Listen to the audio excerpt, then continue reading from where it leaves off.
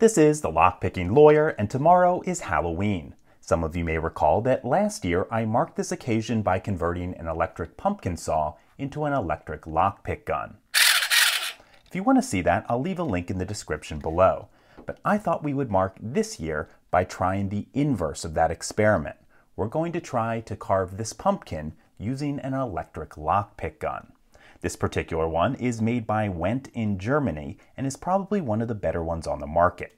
I know, of course, I can't just show you a new tool without demoing it, but rest assured you'll be seeing more of it in the coming weeks. Just to hold you over though, we will pick this one, hopefully very quickly. As you can see, it is a very effective tool. But now let's head down to the garage and see if we can use this pick gun to turn this into a jack-o'-lantern.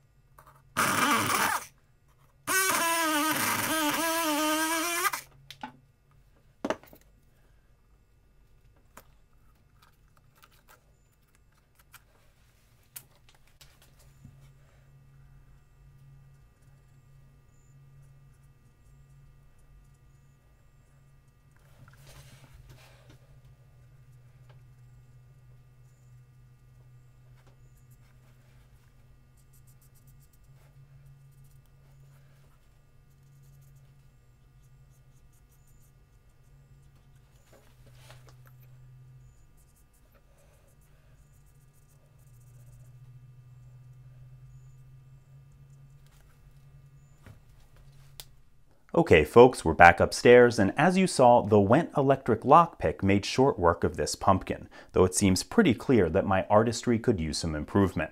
Hopefully I'll be showing you more of the electric pick soon, and you'll see that it is just as effective on locks.